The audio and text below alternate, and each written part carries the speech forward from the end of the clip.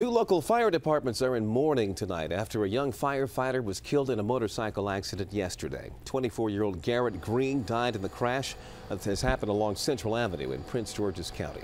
Hatzel Vela is in our newsroom tonight with how he's being remembered. Hatzel?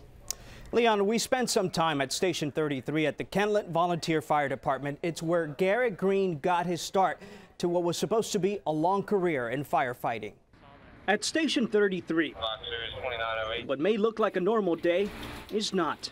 24-year-old Garrett Greene, one of their own, is gone. He aspired to be a firefighter his whole life. With no experience, no training, Greene showed up at the Kentland Volunteer Fire Department. They say it's where he cut his teeth. He had the heart to want to do this, and it really drove him, and a uh, very positive person. On Thursday, Greene was killed in a crash along Central Avenue in Prince George's County.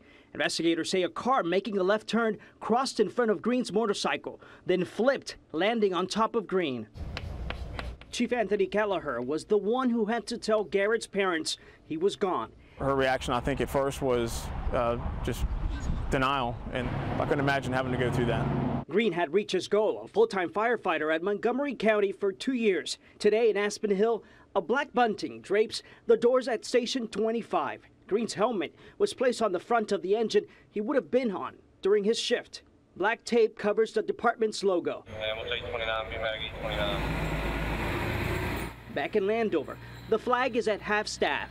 Every picture he's smiling, and he's doing what he loves to do, and that was helping people. It's what his colleagues and friends will continue to do. But there's an emptiness. That smile, they'll miss. As you heard, Greene leaves behind his parents as well as a girlfriend and their 18-month-old baby girl. Reporting live in the newsroom, Hatzel Vela, ABC 7 News. Thank you, Hatzel.